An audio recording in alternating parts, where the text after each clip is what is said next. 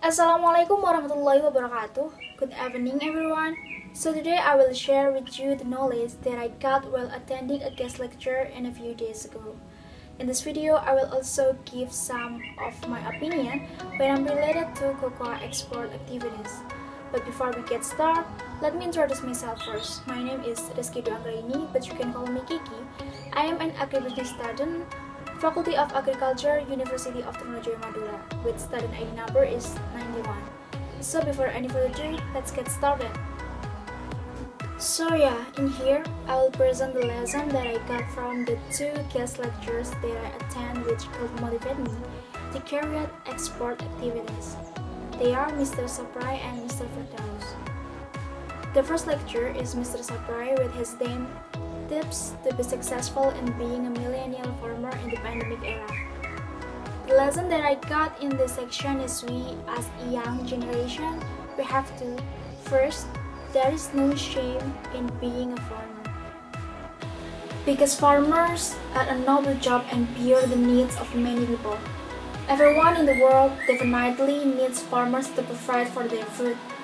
So farmers are not an ordinary profession. In fact, this is a profession that will never disappear as long as there are humans who are still alive. Without agriculture, humans will have difficulties in their lives. If we don't want to farm, then who will continue the world of agriculture? Because now, most farmers are old and lack technology. So here we, as a young generation, really have a big role when we are younger have more knowledge, and also have more control over technology. The second lesson is Indonesia's researchers are very large. There are a lot of researchers in our country, where we are a very fertile agriculture country. This must be used as best as possible.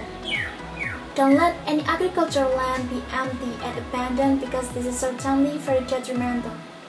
And beside of that, agricultural products will provide more benefit if produce a lot of product even to export. Because almost everyone needs food, agricultural products are very suitable to be export products. And the last lesson for this section is farming will create a job. It would be better if we could create jobs for many people. When our agricultural activities are successful, and are able to develop well, we can become jobs for other people. Because the best human are those who are beneficial to others. This word was motivates me a lot to carry out export activities, especially in agriculture commodities. Agriculture products are needed by many people regardless of cross country, where agriculture products can be exported anywhere because everyone needs it. This is a positive point of business in agriculture. So, next for the second lecture is Mr. Muhammad Wahyu Firdaus with his theme Entrepreneurial Social Media Management. The lesson that I got were the first is never be afraid to start an online business because at this time online business is one of the things that is being intensely on social media. There are many advantages to be gained especially during pandemic like this. And the second lesson is tips and tricks in selling online. And this time, Mr. Firdaus also explains about how to make an online business run well and in demand. Of course, the first step or the first tips is choose the most controlled social media. This aims to make it easier for us to start a business because of course we can better control our account first with our abilities. If we use our social media that we have never had before, it will save us in the promotion process. So, and the next tip is using a keywords. Keywords are words that are often searched by customers on the internet. With this, our products are more easily displayed in the search column so that more people visit. So, if I become an entrepreneur in the export sector, maybe the commodity that I will work on is a cocoa. So what is cocoa? Cocoa is a cultivated tree in plantation that originated in South America, but is now grown in various tropical regions. From the seed of this plant, a processed product known as a chocolate is produced. Cocoa is an annual plant in the form of a tree. In nature, it can reach a height of 10 meters. However, in cultivations, this plant is made no more than 5 meters in height, but with a wide side canopy. This step is carried out to extend productive branches. Cocoa is one of the mainstream agricultural subsector products, contribute greatly to the country's foreign exchange. Cocoa agribusiness is one of the agricultural business that has received serious attention from the government. Because these commodities have economic value as well as national superior commodities as well as commodities for the region of South Sulawesi province. South Sulawesi is the largest cocoa producing area in eastern Indonesia. Based on data released by the International Cocoa Organization, Indonesia has currently listed as the third largest cocoa producer in the world, but its quality is still low when compared to the other four largest cocoa exporters, such as Ivory Coast, Ghana, Nigeria, and Cameroon. Despite having poor quality, Indonesia contributes 15% of cocoa to the world's cocoa need. The thing that caused the low productivity and quality of Indonesian cocoa are the development of downstream products that are still not optimal, and the equality of plantation is still low.